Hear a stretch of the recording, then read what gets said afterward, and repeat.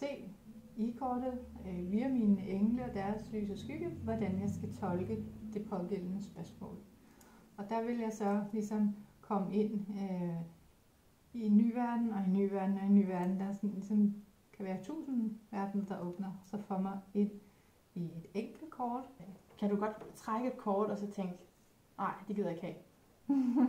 Nej, Det kan man ikke. Ja, det kan man sikkert godt, men det har jeg ikke prøvet. Altså det gør jeg ikke. Hvis jeg for eksempel vender et kort, så vælger jeg lige at mærke ind, hvor øh, er energien henne. Og hvis det var nu for eksempel, så, så ser jeg her en energi, der, der fortæller mig, så får jeg sådan øh, en bølge af energi af, at den her dag, den vil blive, den vil blive rigtig fint, men at jeg skal huske øh, tiden, fordi jeg har det med, at, at tiden flyver for Det er så sjovt, at du kan jo Ja. se alt det, men det er jo ikke sikkert, at andre lige ser det. Nej, her hvis man ser på kortet øh, rent visuelt, så ser man egentlig bare en dame.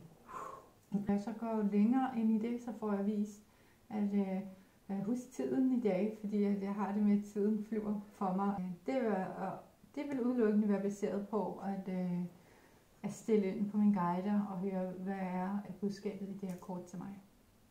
Så der kan man lære meget om sig selv faktisk. Og det er så det, du gør med andre. Ja, Og som du har gjort med mig i den her fødselsdagsudgave af Lyden af et bedre liv, episode 107, som du skal gå ind og lytte med til lige nu. det er god fødselsdag. Tak! Tak!